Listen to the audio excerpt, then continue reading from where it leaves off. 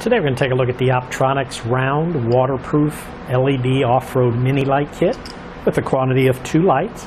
These are high intensity lights that'll produce a nice bright white light which is ideal for off-road activities and you can see it's a nice ideal size for fitting small round openings. Diameter on these lights is only about two and three quarter inches. They use a sealed waterproof housing and lens unit Makes it ideal for use on trailers that might be submerged like a boat trailer.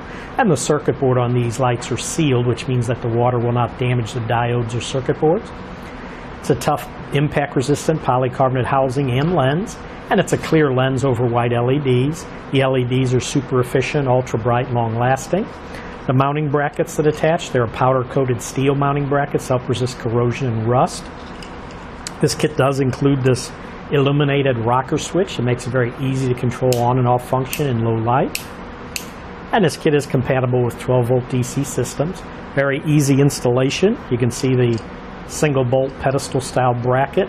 All the hardware is all included for installation, all the uh, wiring harnesses, and a nice set of detailed instructions that describe how to install everything.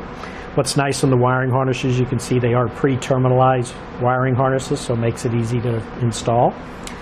Specs on this, it's for a quantity of two lights, total of eight diodes, four diodes per light. And last thing I want to do is give you some dimensions on these lights. The diameter again is right at two and three quarter inches. And the total depth from the front to the very back is right at one and three quarter inches.